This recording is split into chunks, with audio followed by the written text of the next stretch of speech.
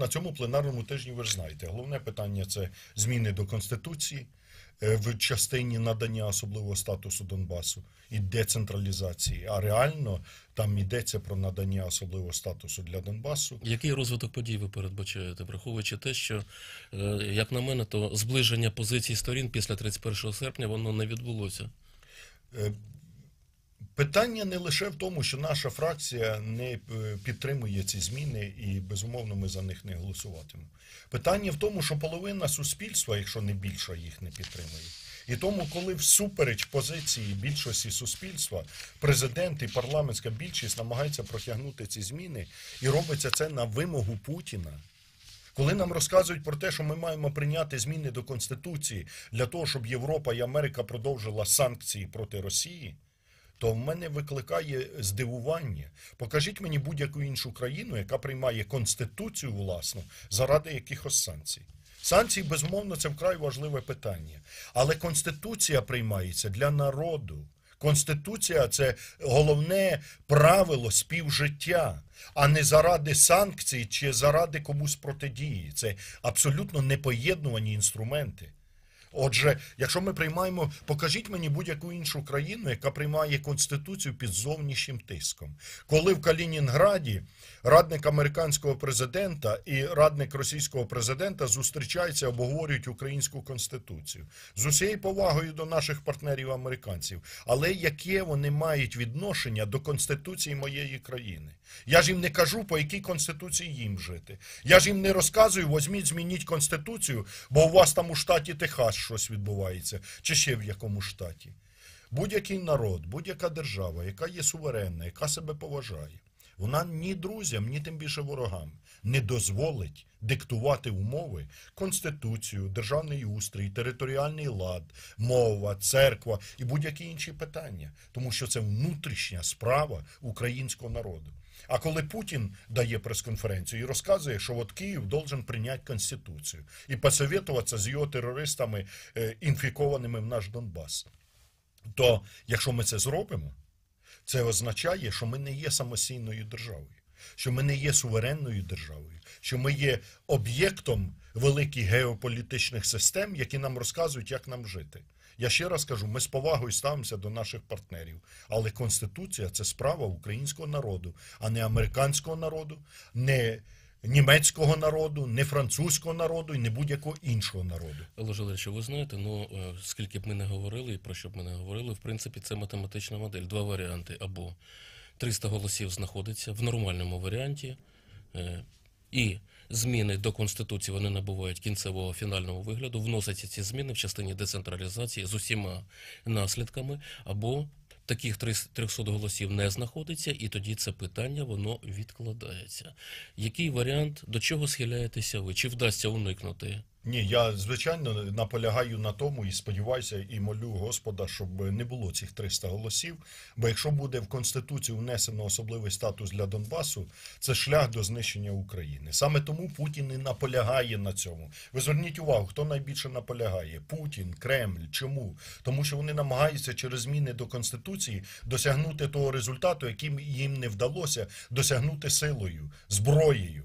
Вони хотіли знищити Україну зброєю. Їм цього не вдалося. Вони тепер намагаються знищити Україну через зміни до Конституції. Адже надання особливого статусу для Донбасу це фактично розкриття параду суверенітетів. Завтра Запоріжжя, Харків, Одеса, Чернігів і будь-хто завгодно скаже, дайте нам особливий статус. Післязавтра у когось виникне соблазн узяти так само в руки зброю, бо якщо Донбас зі зброєю в руках вибив собі особливий статус, чому не можуть русини на Закарпатті взяти зброю і так само виби- збивати собі особливий статус? Чому цього не можуть робити, наприклад, е, румуни е, десь у е, Чернівецькій області, чи молдавани у Одеській області? Це взагалі дорога до тупикова дорога. Це означає, що ми пішли на зустріч терористам, що ми піддалися тиску, що ми під тиском терористів, агресорів змінили власну конституцію. Ви знаєте, незважаючи на все-таки відчутний такий драматизм ситуації, драматизм в тому, що ми не маємо права помилитися,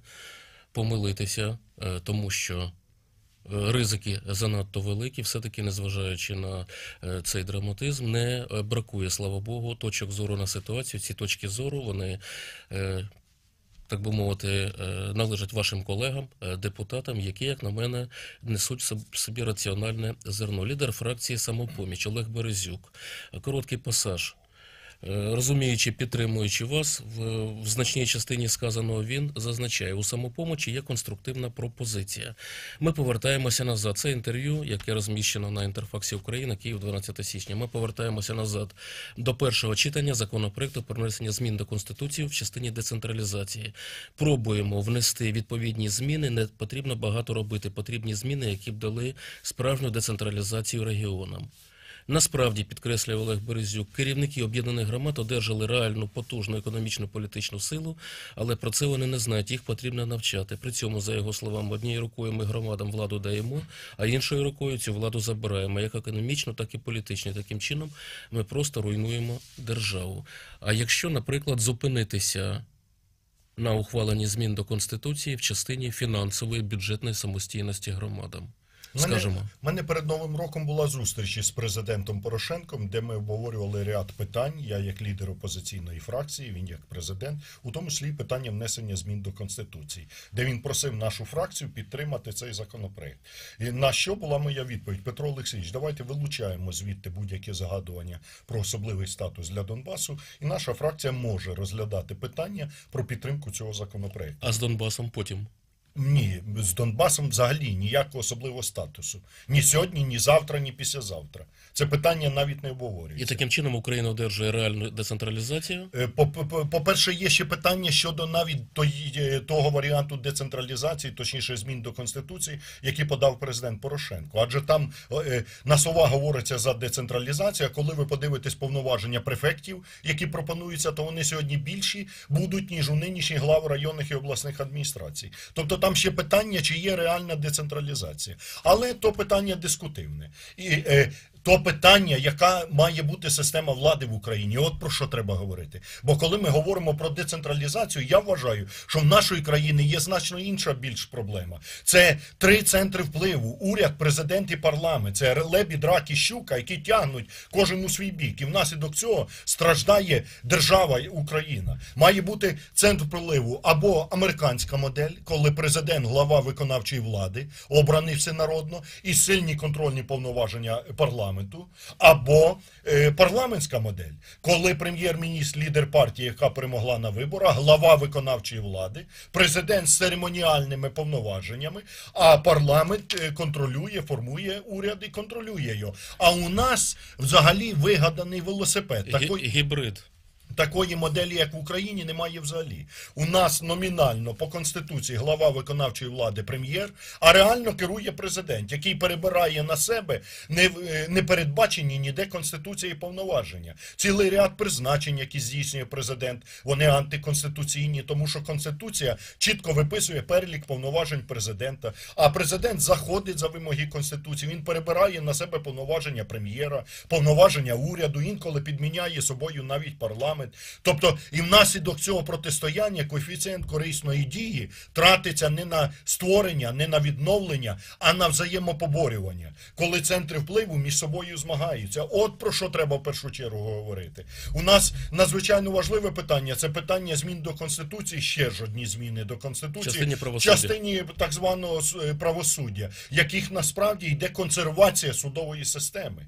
Бо те, що запропонував президент переатестація суддів, це ручна Вища рада юстиції, яка контрольована сьогодні президентською гілкою влади, буде переатестовувати суддів і фактично наберуть корпус суддів залежний від президента. Це незалежне правосуддя? Ні. І саме тому фракція радикальної партії пропонує, і ми ближчим часом підготуємо і внесемо, можливо, навіть і на цьому тижні варіант, наш варіант проекту змін до конституції, де ми пропонуємо звільнення всіх суддів і прокурорів. Оце на наше переконання єдина реальна реформа, яка буде, а не є імітація, яку сьогодні пропонується нам у парламенті. Тобто є проблеми значно важливіші, але нам сьогодні впихують одну єдину проблему це особливий статус для Донбасу, бо мовляв від нас вимагає світ, від нас вимагає Європа, від нас вимагає Америка. Ні. Не Європа, ні Америка не можуть нам нав'язувати конституцію. Це наша власна справа. Моя, як громадянина цієї країни, ваша, наших слухачів, наших глядачів. Але не американських партнерів, ні європейських, ні тим більше ворога, яким сьогодні є російський окупант. І тому, коли нам нав'язують зовні конституцію, то це мету переслідують одну. Що хоче сьогодні Путін? Через зміни до Конституції повернути нам Донбас. Але інфікований Донбас, інфікований заразою сепаратизму, заразою зрадництва, і ми ще за це маємо платити. Це ракова пухлина, яку хочуть нам підсадити, вживити в наш організм. Український, загальноукраїнський організм. Потім ці бойовики, які вчора і продовжують сьогодні вбивати наших солдат, будуть прокурорами, суддями, міліціонерами, депутатами, засідатимуть у Верховній Раді, їм дадуть амністію, їх зроблять місцевою владою, їм дадуть особливі права у стосунках з Росією. Це гірі нам на ноги повісять, а ключ лежатиме в Кремлі. От що пропонується. І найбільш прикро, що цей план підтримується нашими європейськими і американськими партнерами. Чому? Тому що вони не вивчили уроків ХХ століття. Політика умиротворення відносно Гітлера, якому віддавали Судети, е, Рурську область е, Франції і всі інші території е, задобрювали його. Мовляв, він зупиниться і не піде далі. А чим більше він отримав, тим далі він йшов. І це привело до Другої світової війни. Таку саму точно політику умиротворення сьогодні намагаються проводити відносно Путіна. Але Путіна це не зупине. Чим більше ви Путіну дасте, тим більше він візьме.